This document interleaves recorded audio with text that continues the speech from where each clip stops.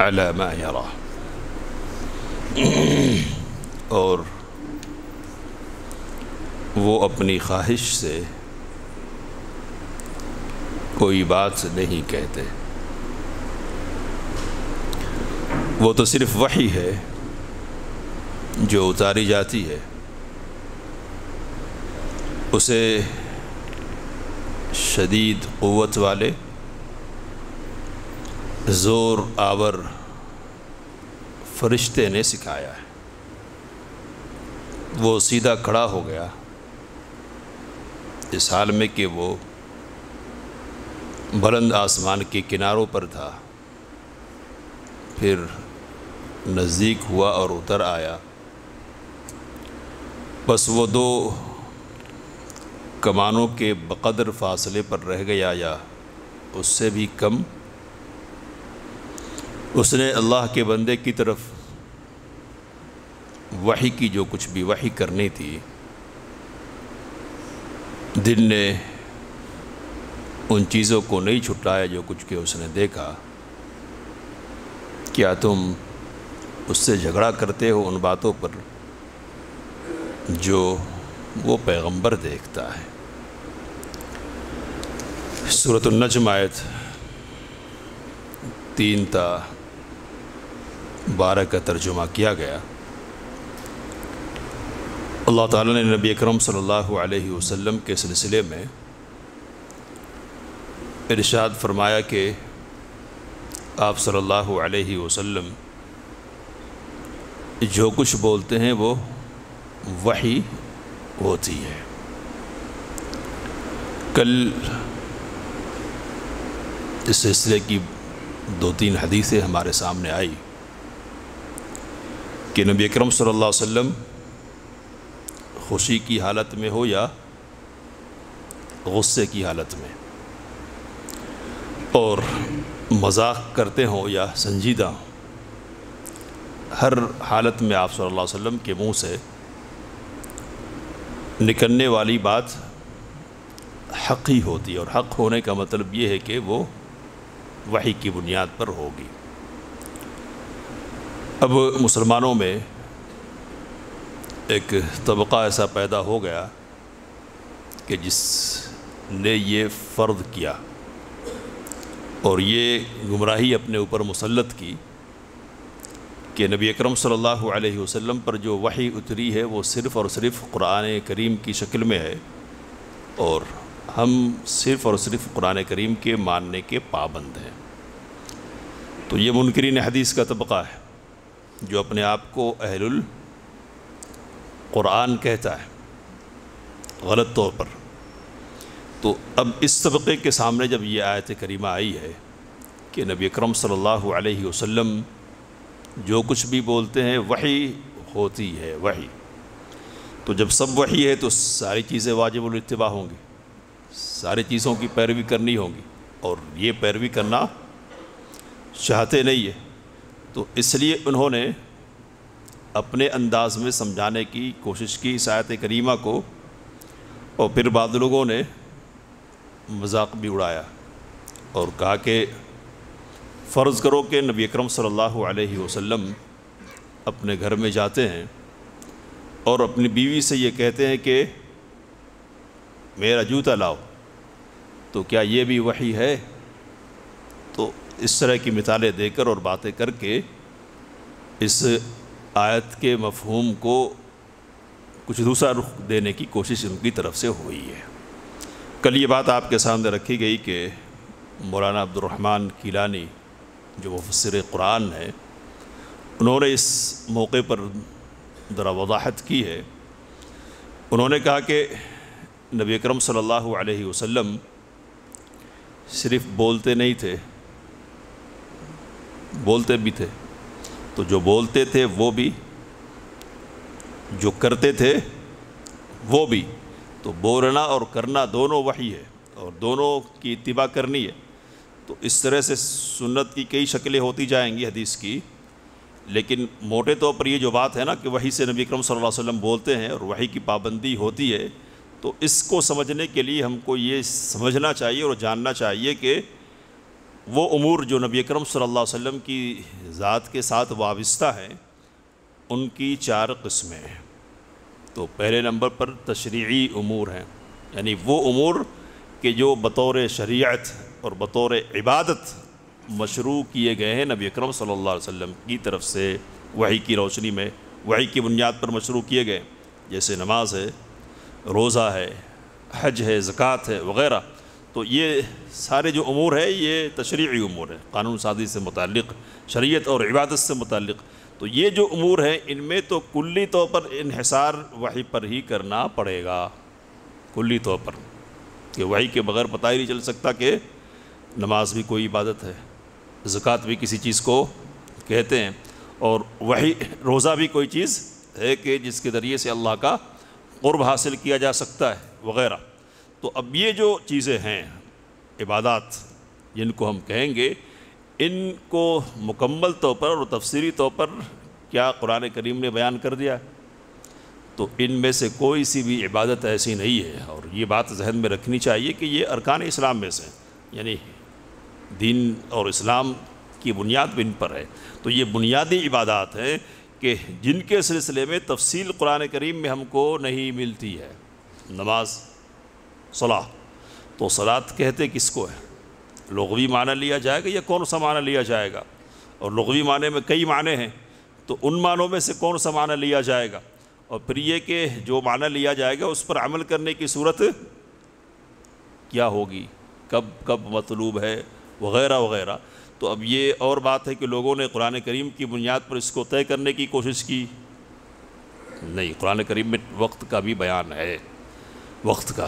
तो ठीक है, वक्त का बयान है, लेकिन सही बात यही है कि अगर नबी करम सल्लल्लाहु की अहादीस के ज़रिए से वक्त की तफसील हमारे सामने नहीं रहती ना तो ये जो कुरान में वसब बहमद रब के कबल तलुशमसी व कबल गरूब वगैरह के अल्फाज की बुनियाद पर नमाज़ पढ़ने की तयन हो रही है, या बाद लोगों ने कहा इमाद सलातशा इशा, जहर वगैरह का ज़िक्र है ये सारी बातें जो हो रही है ना, ये सारी बातें हमारे धन में आती ही नहीं थी।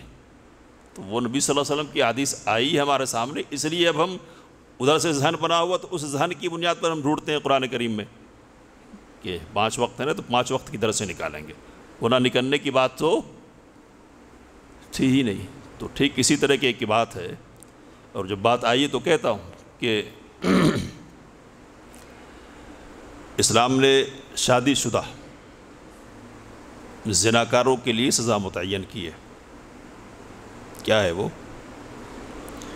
तो संगसार किया जाएगा। पत्थर मार मार कर हलाक कर दिया जाएगा। तो अब ये बहुत बड़ी सज़ा है, बहुत बड़ी। और ये समझना चाहिए कि इस्लामी जो सज़ाएँ हैं, मुख्तलिफ़ जराइम पर, उनमें सबसे संगीन सज़ा है तलवार के एक वार से मार कर ख़त्म नहीं कर देना। या बंदूक की एक गोली से बल्कि तड़पा तड़पा कर लोगों के सामने मारना ताकि वो दूसरों के लिए इबरत का निशान बन जाए। तो ये सख्त सज़ा है। तो ऐसी सख्त सज़ा का सवाल उठाया गया, शुबा पैदा किया गया।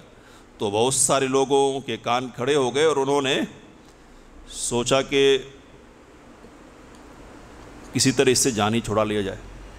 और ये साबित करने की कोशिश की जाए कि नहीं, जना कार मर्द और औरत के लिए ये सज़ा नहीं है। ये सज़ा नहीं है। तो किन के लिए? तो कहा कि ये उन लोगों के लिए कि जिन्होंने अपना पेशा बना लिया हो। क्या है? पेशा, जिनकी आदत ही ऐसी बन गई हो। कैसी?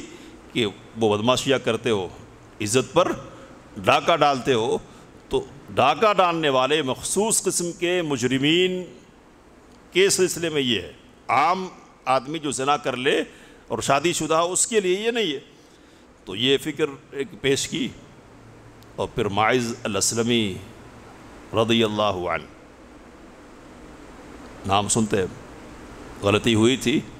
नबी अकरम वसल्लम की खिदमत में हाजिर हुए नबी अकरम सल्लल्लाहु से कहा कि ताहिर ने मुझे पाक कर दीजिए, ये मुझे सज़ा दीजिए। तो नबी सल्लल्लाहु अलैहि वसल्लम ने ज़रा एराज़ करने की कोशिश की कि ठीक है, गलती कर ली है, लेकिन तौबा कर ले तो मुमकिन, अल्लाह माफ़ कर देगा।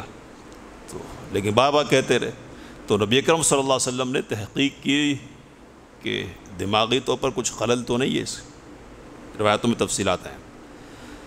तो कबीले के लोगों ने गवाही दी कि नहीं, दिमागी तौर पर कोई कमी और कमज़ोरी नहीं है, सब कुछ ठीक ठाक है।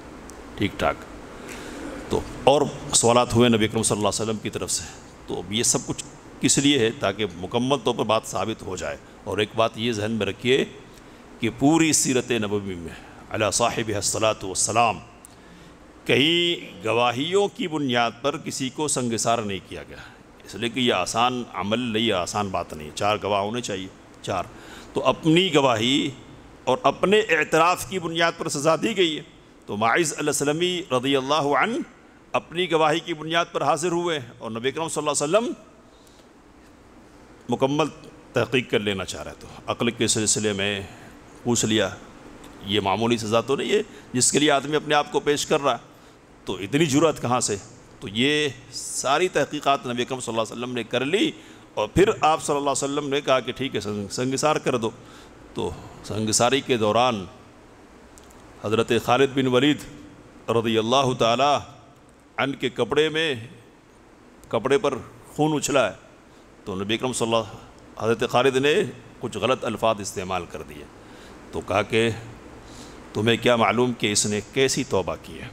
तो ये माइज़ के लिए या गामदिया के लिए जो भी, कहा कि इसने ऐसी तोबा की है कि अगर सत्तर अफराद पर यह तकसीम कर दी जाए तो सत्तर अफराद के लिए ये तोबा मदीने के सत्तर अफराद के लिए काफ़ी हो जाए।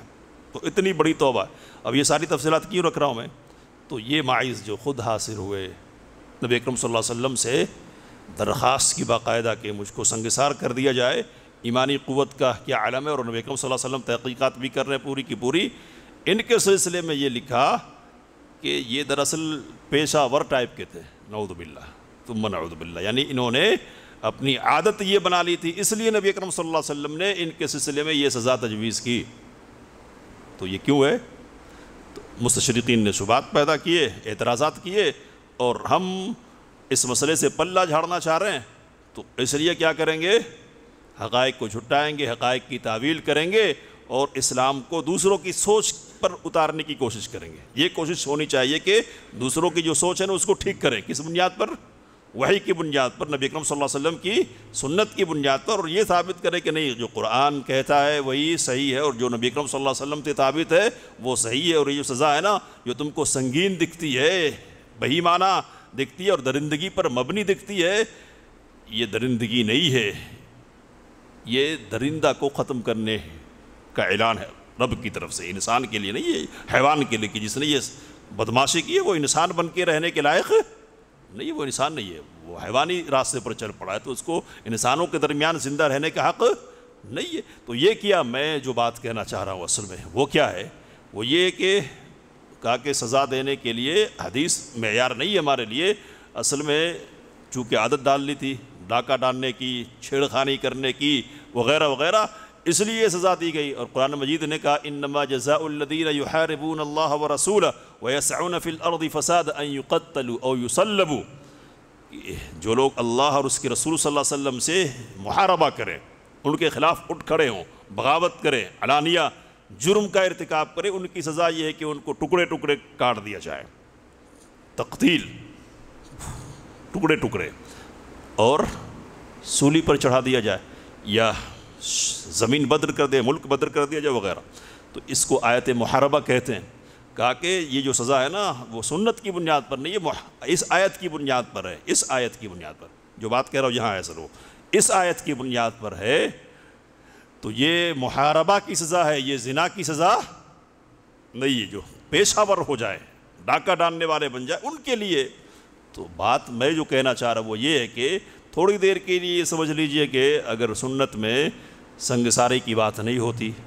नबी अकरम सल्लल्लाहु की तरफ़ से जिनाकार मर्द और औरत को जो शादीशुदा हो, उनको पत्थर मारने का ज़िक्र नहीं होता तो क्या ये दिमाग इतना बुलंद था कि ये आयत मुआरबा से संगसारी की बात निकाल लेता था? क्या कह रहा हूँ? इतनी बुलंदी थी इस दिमाग में? तो पहले से है, अब उस बात को हम दूसरी तरफ़ फेरना चाह रहे हैं। दूसरी तरफ़ तो पहले है इसलिए फेरने चाह रहे तो यहाँ भी क्या है? वक्त की जो तफसील की बात है ना, वो नबी अकरम सल्लल्लाहु अलैहि वसल्लम की सुन्नत की रोशनी में हमारे सामने, अब है, उम्मत मुसलसल अमल करते आ रही इस बुनियाद पर तो हम क्या करेंगे? हम सुन्नत को मानना नहीं चाहते तो हम ज़बरदस्ती करेंगे कि नहीं? कुरान में है ये। और उम्मत जो अमल कर रही है ना, वो कुरान करीम की बुनियाद पर अमल कर रही है। लेकिन फिर क्या है? तो किसी को समझ में आया कि नहीं सिर्फ़ दो? तो किसी को समझ में आया कि सिर्फ़ तीन?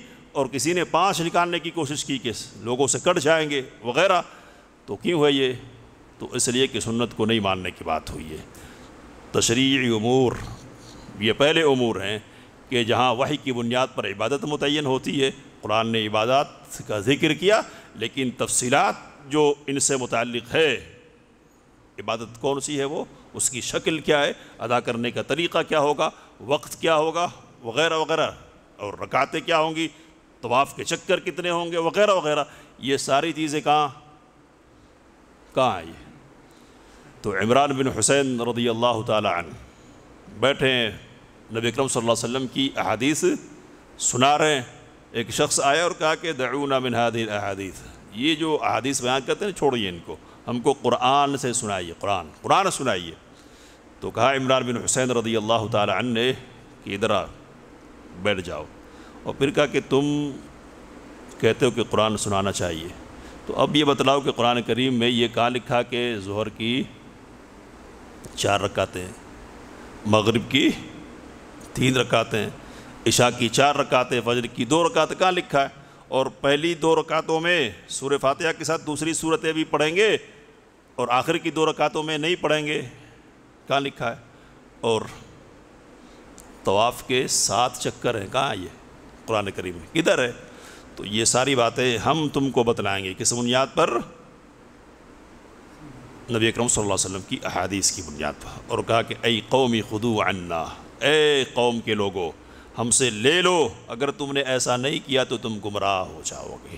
तो जो लोग ऐसा नहीं करेंगे, वो गुमराही होंगे। तो ये पहला मामला है तशरी उमूर। इबादत से मुतल अमूर कि जहाँ तशरी किसकी चलेगी? नबी करम सल्लल्लाहु अलैहि वसल्लम की चलेगी। तफसील कौन बताएँगे? नबी करम सल्लल्लाहु अलैहि वसल्लम बताएँगे और ये जो तफसीलात नबी करम सल्लल्लाहु अलैहि वसल्लम बतलाएँगे, ये अपने जहन से नहीं बतलाएँगे।